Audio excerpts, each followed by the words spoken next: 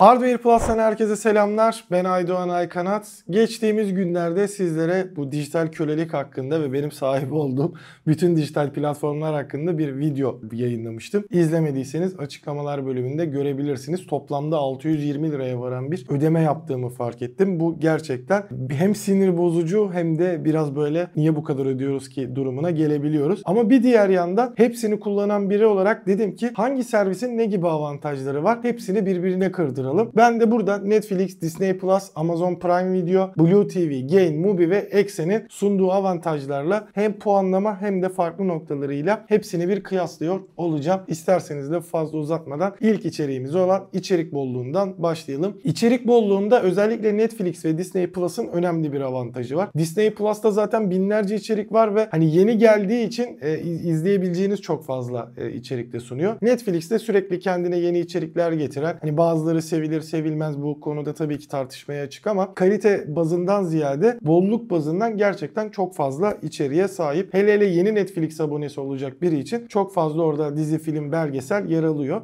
Ben de zaten hani e, evde televizyonumda sürekli bir işte içerik izlemek için gezerken genellikle Netflix ve Disney Plus'a giriyorum. Yeni bir içerik keşfetmek istediğimde bu konuda önemli bir avantajı var. Bir diğer yandan ikinci sıraya Prime Video ve Mubi koymak istiyorum. E, Prime Video'da aşırı bir içerik yok ama e, çok güzel içerikler de var ki yakın zamanda zaten e, Yüzüklerin Efendisi'nin dizisi de gelecek. Kendi içinde farklı farklı yeni içerikler de sunuyor. Mesela daha izlemedim ama merak ettiğim Türkiye'de de billboardlarda gördüğüm Terminal List diye bir dizisi vardı. Farklı farklı içerikleriyle de e, Prime Video'nun önemli avantajları oluyor. Yani bolluk bazında bir Netflix ve Disney Plus kadar değil benim gözümde ama yine de çok fazla içeriği var. Yine eski dizileri falan seviyorsanız orada House MD'yi falan bulabilmek mümkün. Ben ara ara House MD'yi açıyorum. Mubi'ye eklememin sebebi yani ikinci sırada da Mubi'nin olmasının sebebi içerisinde çok fazla sanat ve festival filmleri başta olmak üzere gerçekten izlediğinizde size kaliteli zaman geçirecek çok fazla içerik var. Bu açıdan ikinci sırada da Mubi ile Prime Video bulunuyor. Üçüncü sıraya geldiğimizde ki buraya bence Blue TV'yi de dahil etmek lazım. Yani aşırı böyle binlerce içeriği yok ama içerisinde sürekli izleyebileceğiniz çok fazla içeriği de var Blue TV'nin. Bir de özellikle Discovery'nin yatırımından sonra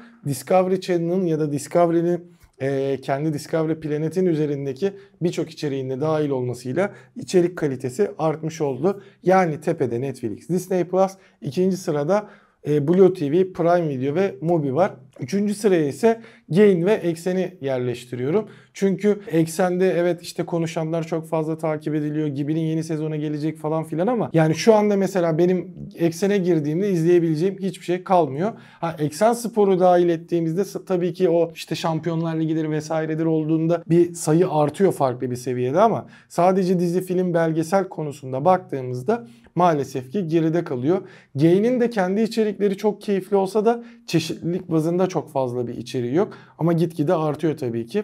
Ee, özellikle program bazında Dayı Show vesaire ile arttırmaya başladılar. Bu açıdan güzel bir gelişmesi var ama işte ben bol bol içerik izlemek istiyorum diyorsanız e, bunlar daha geride kalabilecek versiyonlar olduğunu söyleyeyim. Arayüz kolaylığı ve kullanım kolaylığına baktığımızda yine buradakinin en iyisinin Netflix olduğunu görüyoruz. Araması gayet rahat. Mobilde de, tablette de, televizyonda da, bilgisayarda da girdiğinizde çok rahat aramalar yapabiliyorsunuz ve işte siz oraya Türkçe yazdığınızda Türkçe içerikleri, yerli yapım yazdığınızda yerli dizi filmleri arayabileceğiniz bir güzel bir arama sistemi var. Hatta Netflix Enhancer vesaire gibi ekstra e, bilgisayarınızda eklentiler indirdiğinizde arama hacmini inanılmaz bir şekilde genişletiyorsunuz. Bu önemli artılarından biri. Diğer tarafta Disney Plus'ın da gayet güzel bir arayüzü var. Kolay kullanılabiliyor. Ama işte Netflix'e alıştıktan sonra oradaki arama sisteminin burada pek olmaması, kategorilere girmenin birazcık dertli olması vesaire gibi durumlarda bir sıkıntısı var. Mesela Netflix'te belgesel dediğinizde direkt belgeselleri bulabilme yani kategori bazında işte oyuncu adı, film adı vesaire bazında daha rahat arama yaparken Disney burada birazcık daha geride ama hiç de fena değil. Prime Video'ya baktığımızda Prime Video'nun da ve aynı zamanda Blue TV'nin de benzer bir arama hacmi var ve bu konuda arayüzler rahat hani rahat rahat geçebiliyorsunuz. Yeni bölüme rahatlıkla atlayabiliyorsunuz. Hızlandırma, yavaşlatma işlemlerini rahat rahat yapabiliyorsunuz. Prime Video'nun da oldukça keyifli. Sadece altyazı ayarlamalarda bazen böyle bir kafam karışıyor niyeyse benim Prime Video'da. Ama hani belli bir süre alıştıktan sonra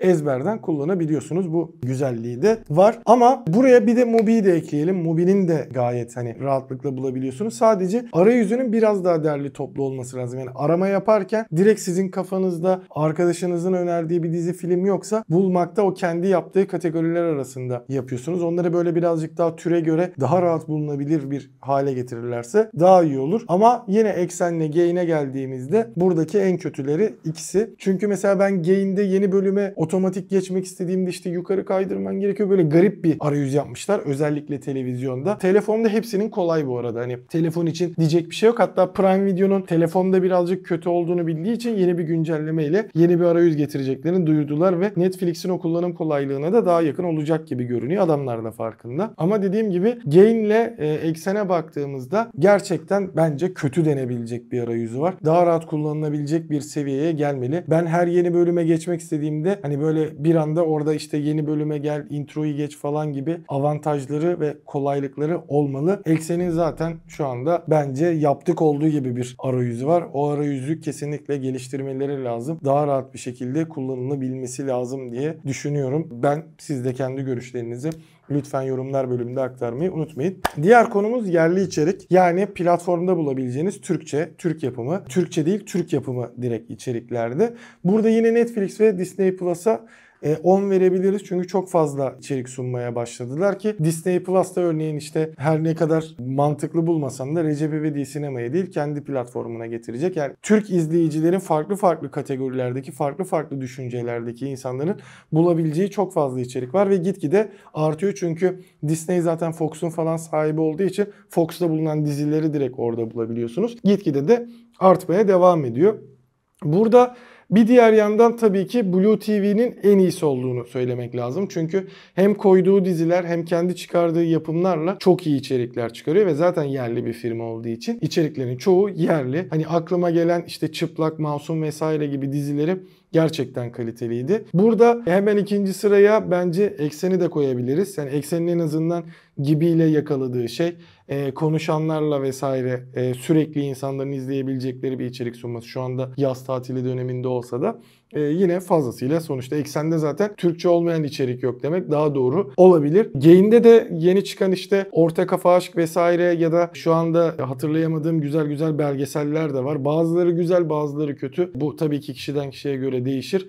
Ama en azından içerik bazında farklı farklı denenmiş içerikleri görebilirsiniz. Gerçekten mesela Orta Kafa Aşk farklı bir e, tarzdaki diziydi. İzlemesi de e, bizim için gayet keyifliydi. E, Mobi'de ise çok fazla yerli yapım bulamıyorsunuz ama tabii ki yine sanatsal yapıda çok fazla önemli e, sinemacılarımızın, önemli yönetmenlerimizin içeriklerini burada görebilirsiniz. Zeki Demirkubuz'un falan da içerikleri zaten burada var. Hatta şu dönemde galiba bütün filmleri mevcut. Hani iyi ama kaliteli ama niş kitleye hitap eden içerikler bulabileceksiniz. Yani ben bir kafa dağıtayım diyerek Mubi'ye pek girebileceğinizi sanmıyorum. Hepsi de sanatsal ve işte dediğim gibi festivalde beyninizi yorabilecek, sizi düşündürebilecek, izlemesi bazılarında sabır gerektiren içerikler oluyor. Benim düz bir izleyici olarak baktığımda bunu da belirtmiş olalım. Prime Video'da ise sadece bir tane içerik var. O da Dayı filmi eklendi ilk defa. Bunun dışında herhangi bir yerli yapım içerik Prime Video'da yer almıyor. En kötüsü burada Prime Video oluyor. Peki dil desteğine geldiğimizde yani dublaj ve altyazı seçeneğine baktığımızda burada tabii ki baştan Blue, Gain, Mubi ve Exen'e 10 puanı veriyoruz. Çünkü bunların hepsi ya sadece yerli içerik sunuyorlar ya da içerisindeki yabancı içeriği zaten yerli yapım bir sistem oldukları için e, dublaj ve altyazıyı ekliyorlar. Burada yabancıları kıyasladığımızda Netflix ile Disney Plus'ın çok iyi iş çıkardığını, Disney Plus'taki her içeriğin neredeyse ya dublajlı ya altyazılı olduğunu, Netflix'te de artık bütün içeriklerde dublaj ve e, neredeyse işte yani Türkiye'de yayınlanan hemen hemen bütün içerikte dublaj ve altyazı olduğunu düşünürsek buradaki en başarılıları onlar. Prime Video'da ise dublaj çok çok az var. Altyazı da her birinde olmayabiliyor. Ben bazı içeriklerde İngilizce altyazıyla beraber izliyorum ya da hiç altyazısız izlemem gerekiyor. Prime Video'nun Türkiye'ye yatırım konusunda birazcık daha gelişmesi lazım. Bunu düşünmek lazım. İndirme özelliğine geldiğimizde güzel yanı bütün hepsinde artık özellikle mobil e, cihazlarda yani telefon ve tablette içerikleri indirip sonradan izleyebiliyorsunuz. Bu önemli artılarından biri. Bunda ben mesela örneğin eksende falan yok sanıyordum ama son dönemde eklenmesi güzel olmuş. Bu da en azından bir uzun yolculuğa çıkacağınız zaman ya da işte köye ne bileyim yazlık bir yere gittiğinizde orada internet yoksa ya da internetin iyi olmayacağını düşündüğünüz durumlarda taşınabilir bir cihazınızda içerikleri indirip orada rahat rahat izleyebilmek ve internet derdini ortadan kaldırabilmek güzel bir şey olur. O yüzden hepsinin indirme seçeneğinin olması gayet iyi olduğunu da söyleyelim. Cihaz desteği noktasına geldiğimizde ise Hepsinde zaten çoklu cihaz desteği bulunuyor. Bu açıdan rahat. Yani şöyle düşünmek lazım. Telefon, tablet, televizyon ve bilgisayarda hepsi kullanılabiliyor. Ama e, eski televizyonlara baktığımızda, ilk nesil akıllı cihazlara falan baktığımızda bazı insanlarda özellikle Eksen, Game ve Blue TV için bizim e, bir televizyonumuzda maalesef ki yok nasıl kuracağız diye soran çok fazla oluyor. Ki Eksen'in de buradaki önerisi işte televizyon bilgisayardan aç HDMI ile bağla gibi şeyleri var biliyorsunuz. E, ama bunun dışında Netflix bütün akıllı televizyonlarda var. Eski bir şirket olduğu için. Yani Samsung'un, LG'nin, keza Philips'in falan ilk çıkardığı da Android olmayan akıllı TV'lerinde bile uygulamalarını bulabiliyorsunuz. Ama bir diğer yandan Disney Plus'ın da işte Android, WebOS ve Tizen'i kullanması gerekiyor. Bazı eski versiyonlarında e, bulunabiliyor Disney Plus özellikle yurt dışında eklendikten sonra ama çoğunda yok. Yani Türkiye'de bulabileceğiniz. Mubi'ye şaşırdım. Mubi'nin de burada az olacağını sanıyordum ama Mubi'nin de yaklaşık e, 2017 sonrası Samsung, 2019 sonrası LG gibi böyle eski nesilde sayılabilecek cihazlarında da olması gayet iyi.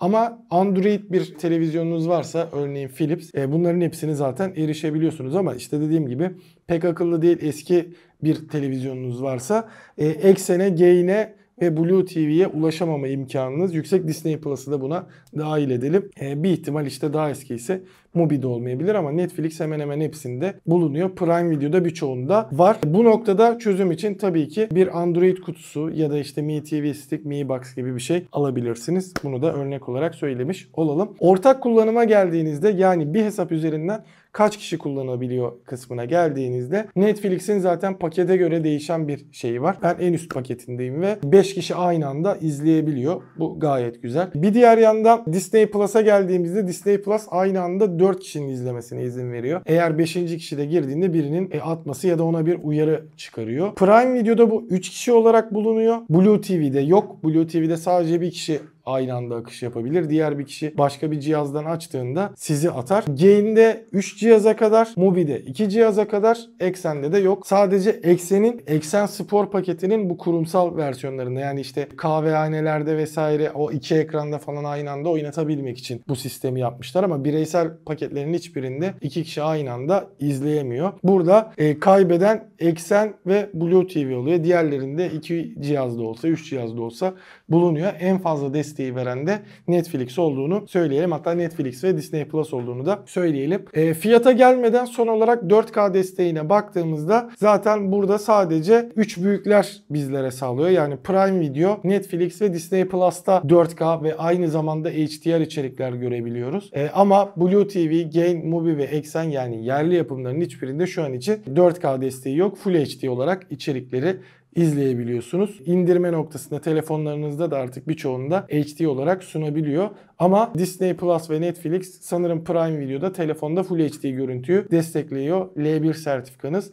var ise. Fiyat noktasına geldiğimizde burada her birinin farklı farklı değişiyor tabii ki. Netflix'te SD yani HD değil de ben sadece düz bir şekilde 480p izleyeceğim diyorsanız 38 lira. Full HD izleyeceğim diyorsanız 58 lira. 4K izleyeceğim diyorsanız 78 lira ödeme yapmanız gerekiyor. Disney Plus'ta her şey dahil olacak şekilde aylık 35 lira. Prime Video'da 8 lira. Blue TV'de 35 lira. Gain'de 22 lira. Mubi'de 40 lira. Bunların hepsi aylık bu arada. Siz yıllık olarak ödediğinizde tabii ki daha uygun fiyatlar çıkabiliyor. Mubi'de bir de öğrencilere özel 26 liralık bir paket var. Eksen'in de reklamlısı 30 lira. Diğerlerinde artık bende yıllık ödeme istiyor. Tek aylık olarak ödeyebileceğiniz reklamlı olacak şekilde 30 e, liralık paketi olduğunu da söyleyelim. Evet Eksen'de para ödeyip reklam izlediğiniz bir sistemde mevcut maalesef ki en saçması da bu. Peki hepsini kullanan biri olarak hangilerini ben öneririm diye diyorsanız benim burada önereceğim yani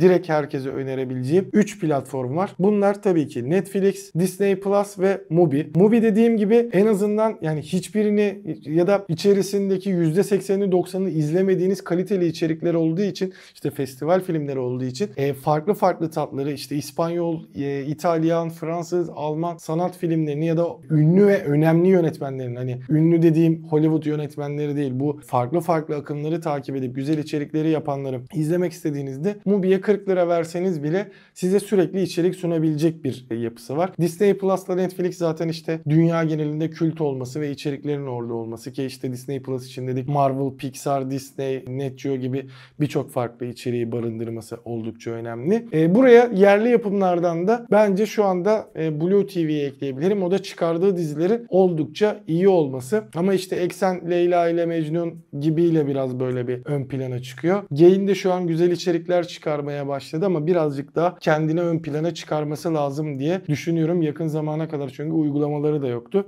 Yeni yeni artmış oldu diyelim. Peki sizin favoriniz hangisi? Siz tercih edecek olduğunuzda hangileri tercih ediyorsunuz ve bu e, şeylere baktığınızda en mantıklısı hangisi geliyor? En ucuzu Prime Video ama yerli içeriğinde bir tane var. Türkçe içeriği çok az. Baktığımızda Disney'in aslında genel toplamda en iyi hizmeti verdiğini düşünebiliriz. Yerli içerik bol, içerik bol, kaliteli içerik bol, dublaj var, altyazı var ve 35 liralık bir ödemeye denk geliyor. Gerçekten sağlam bir şekilde girdiklerini görüyoruz diyelim. Sizler de bu hizmetler hakkındaki kendi spesifik görüşlerinizi, arayüzü, içerikleri vesaire noktasındaki düşüncelerinizi yorumlar bölümünde aktarmayı unutmayın. Buradaki kazanan Disney oldu ve sıralamamızda yaptığımızda Disney, Netflix, Prime Video, Mubi, Blue, Gain ve Eksen olacak şekilde sıralanmış oldu bende. Sizin sıralamanızda yazmayı unutmayın diyelim. Başka bir Arda Plus videosunda başka bir karşılaştırmada görüşünceye dek kendinize çok iyi bakın. Hoşçakalın.